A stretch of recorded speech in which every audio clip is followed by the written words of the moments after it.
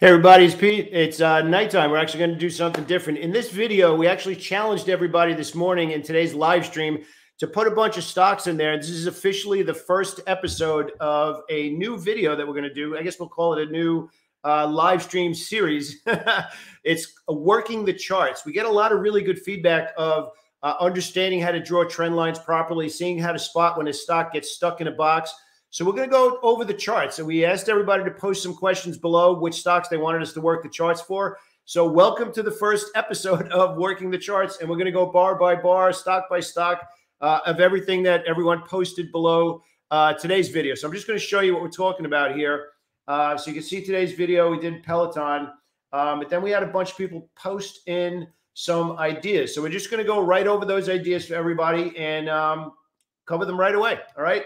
So we're actually going to start. Uh, Boss Biggs GTV started out with Disney. All right, so let's hop on over into Disney, and uh, we're gonna we're gonna uh, we're gonna do this like it's a game. We're gonna actually do play by play of what's actually going on. Is there an idea? Is there not an idea? And we'll get into it right away. If there's nothing to do, I'm just gonna leave it alone, and we'll go straight into the next idea because it's not really that hard to tell if order flow is obvious, if there's something to do, if they had bad news, good news, and we'll, we'll start to put it in and determine when and if there's an idea. So, welcome to working the charts. We're just going to go right over into it. So, Disney right now, obviously, um, let me actually add earnings in here because that's actually a big thing to keep an eye on um, as far as knowing when the earnings came out. So, Disney actually just came out with earnings just recently.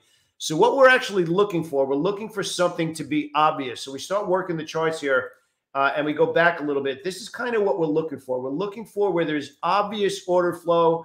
If that order flow gets broken, where does it stop? And then ultimately, where does it reassert itself? So you can actually see here uh, what, you know, kind of something that we're really, I guess, kind of getting to be known for is the push and the pause, right? That push and that pause literally tells us that somebody with deep pockets is actually pushing it and then taking a break and then pushing it again. So if we don't see that, especially on the bullish side, we just kind of like leave it alone. So the reason I'm pointing that out is over here, we actually had a really nice move going back to November, and you can see that it broke down. And this would have been the move down in Disney if it took out this level, but it didn't. It kind of reevaluated itself, right? However, we kind of work our way sideways now, and this is a really important question. And I'm, I'm just going to come back on the screen right now because it's kind of fun is if you cannot answer the question, is it obvious? There's no trade. And we, we actually kind of got into it a little bit this morning. Somebody was actually calling out Rivian, which was basically since the IPO, it's been straight up. And somebody asked about short selling it today. And I said, absolutely, positively, no way in the world would I be short selling one of the strongest stocks. Now, could you say that it was a little bit overdue for a pullback? Sure, of course you could have. But was that a great idea. Was it the best idea on the table? Absolutely not. The stock did end up going down today, but that doesn't mean it was a good idea. So we're going to transfer that over into Disney right now. We'll kind of zoom out over here, and there's really nothing to do in Disney right now. If you're long Disney right now, you're basically hoping that it reverses. Earnings came out, were not awesome, and the stock is now gapped down and rolling over. So let me just see who put this one in here. Uh, Boss Biggs TV. Okay, let's just put it out there. I don't see anything to do in Disney right now. I think if we're looking at the order flow in Disney, you basically just be guessing. So I'm just going to kind of leave that one alone. Personally, I don't see any order flow. I don't see any push other than the push to the downside after earnings. So for me personally, right now, nothing to work there because there's nothing to do. All right. So we're going to work our way over. Let's take a look at the next idea. Uh, let's see. Uh, Dr. Modi. All right. Uh, work the chart for ALGN, uh, Align Technology for Invisalign. He's a dentist and trading for the last two years. All right. All right, Dr. Modi, let's take a look at it. ALGN. Let's see if there's anything going on there. All right. So we got a little bit of back and forth. We might be able to see this a little bit better on the weekly chart. So if we zoom out on the weekly chart and go back over here, we kind of have this going on right now. So that's kind of the big picture right now. And if that's the longer term move, I would say that still looks pretty good. A very wide break of the trend right there. And that would be the top of the box right there. So, longer term picture, this still actually looks pretty good in uh, Align, ALGN. GN right now. But this is also a weekly chart. So you can see that this box is a very, very big box. It's a very wide box. However, the big thing we want to point out here, working this chart on a longer time frame, the bullish order flow is still valid. Where it would not be valid anymore is if it breaks down and gets below the five, It looks like around the 570 level. So right now, ALN looks pretty good. And it's actually starting to head back up towards that 740 level. So right now, it's kind of stuck in that box on the weekly chart. As of right now, we have two weeks of melted candles. It's still valid, but still bullish. And if we kind of zoom this out a little bit more on the daily chart, worked its way all the way back. Look at how long this has actually had some good, solid bullish order flow. What I would personally be doing on this stock is I think I'd be leaning a little bit more towards the weekly chart, not the daily chart, because it doesn't look like it has enough consistent volatility to be monitoring it on that daily chart. But you know what? I actually think the stock looks pretty good. So working the charts on ALGN, Dr. Modi, I looking all right right now. So we're going to work our way over to the next one. Uh, let's take a look. Um, Jason, uh, hope you took profits from Rivian. All right, Jason doesn't have a stock in there, so we're going to go to the next one. Uh, CHPT and IONQ. So actually, Lewis, this is actually two stocks that we watch quite a bit during the day. So we'll start out with CHPT. We're going to work our way over to that one. So you can see how we've been working this chart for a while right now. It actually broke into a downtrend. Now we're actually here. We are now in, I guess you might say, one of the strongest hottest on fire sectors right now, which is um, electric vehicle charging stocks right now. So this actually still looks pretty good. And the big thing here is we finally got through here. Now, what I don't like in working the chart right now is the fact that we have melted candle, melted candle, melted candle. Melted candle, if you don't know, again, just want to come back on the screen. We have two types of candles. Really, the only type of candlesticks you really need to know. I know that says a lot is an energy candlestick where it opens near the low and closes near the high. So there's a lot of buying that happened during that candle. The opposite of that is a melted candle where it traded all over the place and basically opened and closed in the same spot. Melted candles represent indecision. So we actually have kind of a cool um, discussion here. There's not a question whether or not working the chart here, CHPT is bullish, but the last three days have been indecision, even though they've been going higher. So this is not a situation where I'd actually be looking to add to this position. I like the fact that it finally got over 26. The order flow and the trend right now is still bullish, but I would want to see a little bit more than just one or two days of well bid candlesticks where we go higher highs, higher lows. I want to see them close near the high. And you can see over here on CHPT that didn't happen. So if I was long this, which I actually am in the swing trade, I would not be looking to add to this right now until we see a little bit better follow through. All right. So I want to go to the next one here for Lewis, which was IONQ, which is actually trading pretty well right now. Let's take it up and take a look at it for everybody. Obviously, the recent price action is pretty good right now. So let's actually go out and we need to draw a couple of different uh, work the chart twice here because we actually kind of went par- parabolic after we finally got above 10. Now, here's the interesting thing is this stock bullish? A hundred percent, this stock is bullish. However, based on what the stock normally does, would we be looking to put on a new swing trade tomorrow? Not if you're on my trading desk, because if you look to the left, the normal move in the stock looks like it's around six dollars since it started to rally, and the last two days the stock has gone eleven. So again, we got that that little bit of a distinction here that the order flow is good, really obvious. We're picking up in volatility, we're picking up in volume, but over the last two days, the stock just went twice what it normally does. So for me tomorrow, IONQ would be a day trading opportunity, looking for one more day of bullish pressure if we get it. But I would not be looking for a new swing trade until the stock paused. Now, what would that pause look like? Well, we just talked about it on the last stock. It would actually be this. It would actually be a couple of melted candles. We got that big push up. We take a couple of days break, and then we look for the move up. So I like both of these stocks, but I wouldn't be looking to add to either one of them until either CHPT gives us a well bid candlestick, exactly like we see there, where it closes on the high, a little bit more feedback, or this one here, IONQ. I want to see it pause before I look to add again. All right. Um, all right, so let's go out to the next one. Uh, RIVN. looking for 50% retracement. Yeah, let's actually. So Jason actually talked about that. So let's pull in RIVN. Um, obviously, the new IPO, the stock has been just absolutely amazing. And this is the one that we had. You know, Ruby asked the question this morning about short selling the stock. No, I, I don't. We even said it this morning. I was not looking to short sell it. There were other better ideas to be buying. So, in other words, even though the stock pulled back, you have to you have a scale of this is my perfect trade, and then everything works away from that perfect trade. In this case here, we were looking for a pullback. The stock does not have a lot of uh, history. It's five, six days worth of trading. So you're really just trading that most recent price action. And as we just mentioned, somewhere around a 50% retracement would be where we start to look for it.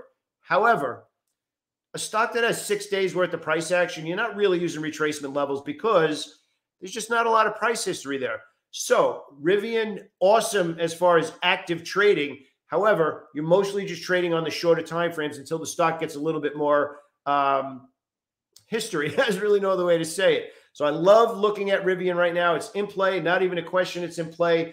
Uh, but I'm not going to have a longer term call on this right now because it's mostly just the shorter time frame. But what's kind of cool about this is if we really want to get into the price action, we can actually kind of do this where we're actually drawing something on the only price action we have, which is just this last six days. So if we were really drilling it in pretty hard, that's actually where the trend got broken, which was right around uh, 10 o'clock today.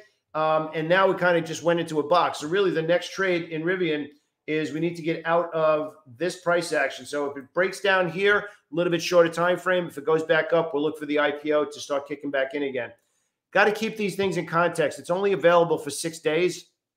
You really can't predict or or have a really good feel for reading the tape just over a couple of days like this. It's great to trade if you're reading the tape on the shorter time frame. All right, this is kind of fun actually. We're gonna go over to the next one. Uh, hey Clyde, what's up? Um, SLV. Why don't we use that one because Clyde is finished with dinner and on the video with us. And John, I'll get to yours in just one second. Oh, actually, this is kind of a cool one. Let me actually zoom out on this one. So silver, right? Silver shares trust.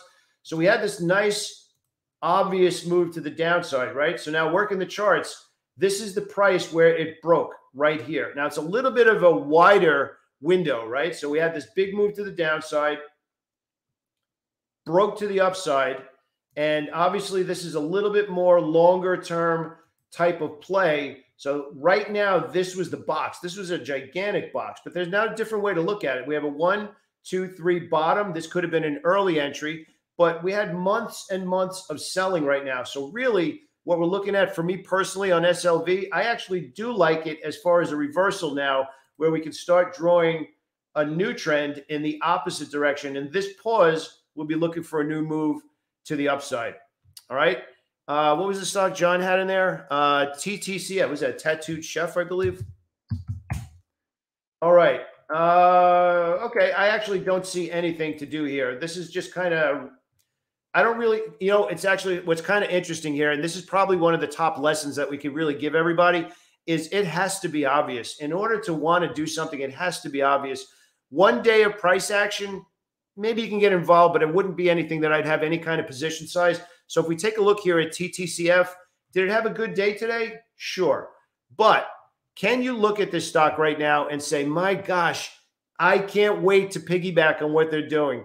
Not for me, not for one day's worth of price action. So for me here, John, I'd kind of be staying away from TTCF until I start to see maybe a second day, maybe a third day, maybe from one week to the next, and you can start to dig into that a little bit. Uh, but, so by the way, Clyde, I actually do think that SLV has now returned and started moving back up to the upside. Uh, let's see, Allison, how's it going? Uh, scared to trade today. EVGO broke my spirit. You know what? We actually had a conversation with somebody in our community today about um, reacting to trades being uh, sad or exciting. So I'll give you a little bit of a, of a professional mindset thing, Allison. Um, trading gains and losses, but especially on the losing side, you need to know how much you're willing to risk prior to the trade, and that needs to be a dollar amount. It could be 300, it could be 500, it could be 1,000, it could be 100.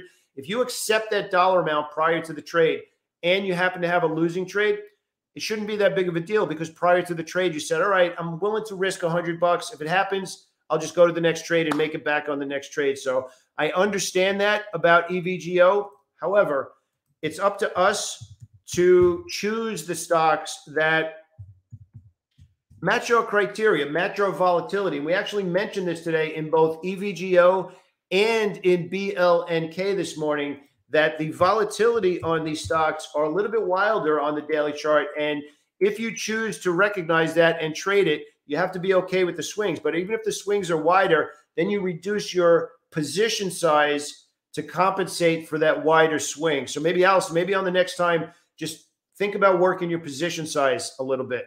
Okay. Uh, let's see. Hey, Sandy, how's it going? Welcome to our first episode of Working the Charts. kind of, kind of fun. Uh, XPEV. All right. So we actually talked about this um, in our coaching call today. I actually like XPEV on a breakout over $50. So that's actually where I have it right now. Um, if you can see here, $50. Oop, let me zoom that out. $50 is actually a pretty big level. It got hammered here over $50, tried to get up here again, and now we keep dancing around there. So, right now, for me personally, I like the fact that it's rallied, it's showing some relative strength but I'm not doing anything in XPEV until it gets above 50. That's the level that I have right now. We actually set a buy stop for that in our community today over 50. So if it trades down, I'm leaving it alone, gets above 50, we'll start working a position in uh, XPEV. Okay. Uh, I want to stick to the list over here because I promised everybody this morning that I would get to everybody if anybody put stuff in there. Uh, James Pray, uh, SLGG. Let's take a look at that one first. Uh, all right. Oh, this is kind of a cool one. So you know why it's a cool one? Because we're actually getting some opportunity here. So if we start to work the chart here, this actually looks uh, very similar to what we had in um, Tilray, which we've been watching. So we have this longer term move to the downside. This is where we actually broke. Now that's kind of one monster move there, but the trend is quote unquote officially broken there, right? So that means that we need to draw two lines. Number one is the low prior to the trend line breaking. And then we have to draw another one where we believe that this stopped. Now, this is one giant candle, so that's kind of a little bit of a tougher um, number to use. It'd be tough to say that that all the way up there is where this trend broke. I wouldn't really say that. I would actually say that it broke here, kind of danced around, and right here would be the level. So I would say we pulled back the last couple of days. However, if I'm watching the stock, this is actually what I'm looking at right now we're actually making higher lows and higher highs. So I kind of like this as a potential reversal trade back to the upside. So remember, a lot of the stocks, if you're a regular viewer of the channel, we've been talking about as these stocks go down, bottom out, and start for the first time to the upside. This is a good example where it's just starting to potentially reverse to the upside. So if I'm looking at SLGG today, it would only be an initial piece on this reversal. If it rallies and pulls back and doesn't follow through, we had a much smaller piece on the initial entry. So that was a pretty good example there. All right. Um, let me see. I want to make sure that we go over to the ones that were posted in here during the day today. Uh, let's see. PLTR and NIO. All right, Goran, let's take a look at that. PLTR and NIO. PLTR actually since earnings really hasn't done much. We've actually spent quite a bit of time on this right now. And here's the thing I want to talk about PLTR. This is a really polarizing stock. A lot of people love this stock or they hate this stock. Our job is to recognize do share, is there shareholder value that smart money's pulling into the stock and starting to pay higher prices? No. PLTR is stuck in the middle of nowhere right now. Maybe at some point it could start to get well bid. Maybe we finally get above this $28 level that looks kind of like a brick wall. I don't see anything to do in PLTR right now. We don't even have to work the charts. There's nothing to do. You look at that stock right now, and it hasn't moved since March. And prior to March, it was a move to the downside. As of right now, there's no edge in PLTR. If I was going to do something in PLTR from an active trader perspective, I'd have an alert set for $28 and then above 28, I'd read the tape to see if there was another trade. Kind of similar to NIO right now, which is NIO still kind of stuck in a box as well. So we had this move to the downside, broke the move to the downside right around here, but you can see that we kept getting up to right around the 43, 43.50 level and weren't able to get through there. If I had to choose between the two of them, NIO has a little bit better price action, but NIO also has that big overhang that a lot of the Chinese stocks have right now. So personally, I actually wouldn't be looking at either one of them right now, NIO or PLTR. Certain things have to happen before I'd look to get into those. So good question on both of those. Uh, let's see. I want to make sure we go through everybody that posted one. Uh, DraftKings. Oh, wow. DKNG. That one is not looking good right now either. So we work our way out. DKNG. This is bearish on top of bearish. This one is actually accelerating to the downside. And if you go to the left here, the next significant support level where buyers stepped in is all the way down here. So we're talking around $35. Not a monster move, but right now, man, DraftKings is just bearish. I don't see anything else to do at all right now in DraftKings. Uh, okay, so let's see. Abdul, we'll, we'll, take a look at two of them. I don't want to spend time on all of those. I want to give some respect to people on the call right now. RBLX and OSTK. Let's take a look at that. RBLX. Obviously, the stock has been taken off. And if you remember what we talked about before, what are the odds of making money if I buy now? So we're talking about a swing trade. The optimal entry for RBLX was after earnings when it pulled back. So if we zoom out on the chart over here in RBLX, it spiked up, pulled back, and paused. Remember, we just said before that melted candle represents indecision. But when that melted candle happens within the context of momentum, so a push and a pause and then melted candle, that gives us an entry. So this entry here in RBLX led to one, two, three, four days to the upside. So now we're four days after the optimal entry. I still like RBLX long, but I don't like it long as a new swing trade unless it's a significantly lower portion or position size because it's already gone four days beyond the optimal entry. Remember, this is what we're talking about reading the tape and order flow. The order flow is obvious, but if we take it a step further and read the tape, it's four days too late to start a new position. So we can do it, but because it's late, it would be less share size. All right. So we're going to go with OSTK. The stock has actually been pretty decent recently as well. Now, the challenge here with OSTK is all of these topping tails. We're seeing a lot of uh, less than ideal price action. So we probably zoom this out a little bit on the weekly chart if we look at that. And now you can see well bid into two melted candles. So really what it comes down to right now for OSTK, I probably wouldn't do anything until it got above 110. I don't see anything going on there. Got above there and came back hard, couldn't get up there and came back, and now we're stalling there again. So for OSTK, I would personally have an alert for 1010, for 110, not 1010. Above 110, then I'd start to look for a new trade through that level. All right, uh, let's work our way over. We got uh, one more IWM. All right, so uh, JWA, IWM. So we're going to take a look at the Russell 2000. And if we go here, we've actually had a decent move recently. And working the chart here, we kind of went parabolic. So that is the actual move. Now we have to draw a new one as we go to the upside again. Now here's where it gets interesting. We actually did break right here.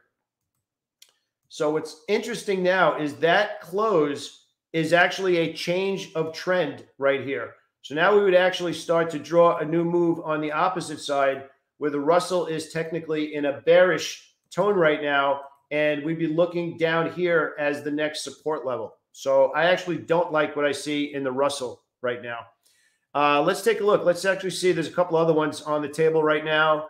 Uh, let's see. Um, let's see. Johan, how are you, Johan? Uh, nice cat. Uh, PayPal. PayPal is not looking good either. PayPal will be, be looking to bid uh, into a stock that's getting hammered right now. And if we keep zooming out, um, there is nothing but bearish order flow in PayPal right now. I personally wouldn't be looking to be a buyer of PayPal right now until we started to see the weekly chart um, catch a bid a little bit. Uh, let's see. Hey, Kevin, how's it going, man? Uh, BBY actually looking a little bit better. We actually had the breakout here. If everybody remembers, we kept talking about this on the live stream in the morning. Uh, so the order flow in BBY actually looks really good. Really, really good. Still pretty strong went parabolic. So we're actually now pausing for three days. So I like BBY. I'd actually be looking for it to get right back above the 135, 136 level to start looking for a new move to the upside. And again, a lot of what I do in the swing trades, I use buy stops, so I needed to head in that direction. So Kevin, I'm with you on BBY. It actually looks pretty good. Uh, let's see. Oracle, Vincent. Hey, Vince, what's going on? Uh, Oracle's actually pulling back the last couple of days, but the daily chart really hasn't done much. Um, longer term, it's actually been pretty good. You can see here, even if we just go from here and start working the chart a little bit, we actually broke it. So right there is the break of the downtrend. and up here puts this stock in a box. So really, where is the trade in Oracle right now? Maybe over the last couple of days, but I don't see a trade in Oracle. The tech stocks have been really strong the last uh, week and a half, and they kind of floated all the way back up on the um, sector rotation. I can see looking at this, but it would be lower on my list of stocks in my watch list. So short term, a little bit of a rally, but a little bit over the last month or so, it's kind of been in that box. So we'll see. Maybe it'll break out of that pause uh, from yesterday and we'll start to look for a new move to the upside. Not ruling it out, Vince. It's actually got some some price action that we can take a look at, but you can see over the last month or so, it's kind of been sideways. Uh, let me see. Uh, that PLTR. Yeah, I'm with you on that one. I'm with you on that. PLTR is such a polarizing stock. There's so many people that love the stock, and maybe they love the CFO or the CEO. I don't know. But again, we're here to talk about opportunities to trade right now. Still kind of stuck sideways. Uh, let me see. Um, TTD. Actually, we did not talk about TTD. Let's actually jump into that one right now, and we'll take a look. All right, TTD. The stock's actually re- reported, uh, and we're actually trading really well since it reported. Now, the challenge for TTD. Well, first of all, obviously, um, the stock is bullish right now, and it, we can actually zoom this in. If we go to the 60-minute chart, you'll actually see the trend just a little bit better, and maybe we can even zoom it in from kind of like right there and here, which actually, by the way, that's a pretty cool tip.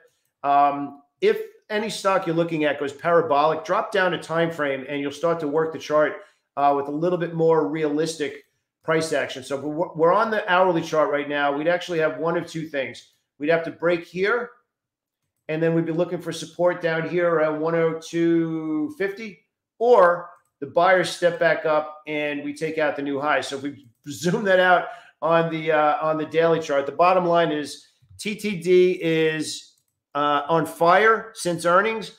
Maybe a little bit overbought today. Traded into a bearish U-turn where it punched through and came back. I'd probably be leaning a little bit more towards one more day to the downside and then start to look for a new move to the upside. I think a good example of that um, heading into tomorrow, into um, Thursday, is uh, FCX. So FCX actually has a pretty solid um, trend from the lows over here in the beginning of October. Uh, but now it's actually punched up, pulled back for a couple of days. So I'm looking for FCX to find some buyers tomorrow and uh, look for a new swing trade tomorrow. So uh, this was kind of fun, right? Um, totally unscheduled. We didn't let anybody know about it. Uh, but we did have a lot of questions this morning about how to work the chart. So maybe we'll turn this into kind of like a regular um, thing that we do. Probably not every day. I get a little bit tired. It's seven o'clock at night. Uh, I haven't left my desk all day. Um, but look, bottom line is um, I love interacting with everybody. So we will turn working the charts into something new that we do um, throughout the week. So thank you so much, everybody uh, who's here with me right now. This is pretty awesome. Uh, so Kevin, yeah, we're going to do them as often as possible. I'll let everybody know. Um, but for everybody that participated, and actually, if you're here right now, thank you so much. This is awesome. Uh, and if you have any questions, absolutely leave a comment below in the video and hit that subscribe button. Uh, I'd appreciate that as well. Have an awesome night, everybody. Get a good night's sleep. I'll see you on the live stream tomorrow morning at 7:30. Thank you so much, everybody. I really appreciate it.